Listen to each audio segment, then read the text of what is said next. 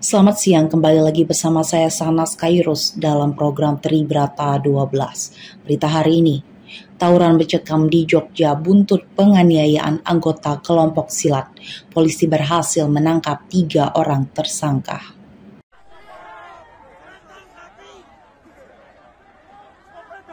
Jogja menjadi trending Twitter pada hari Minggu tanggal 4 Juli 2023. Pada malam hari lantaran diduga rombongan perguruan silat membuat kerusuhan di Yogyakarta.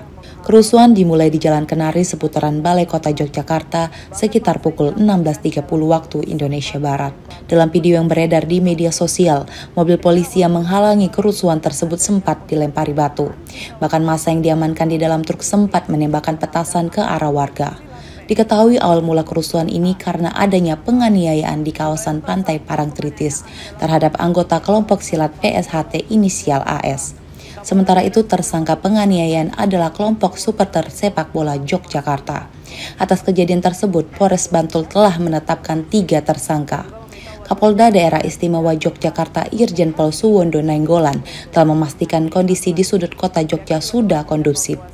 Ia juga meminta warga Jogja agar tidak terpancing provokasi yang berujung kerusuhan dengan pihak lain.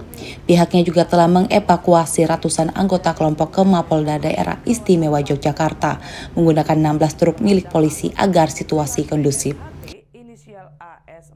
Dari Yogyakarta, tim liputan melaporkan.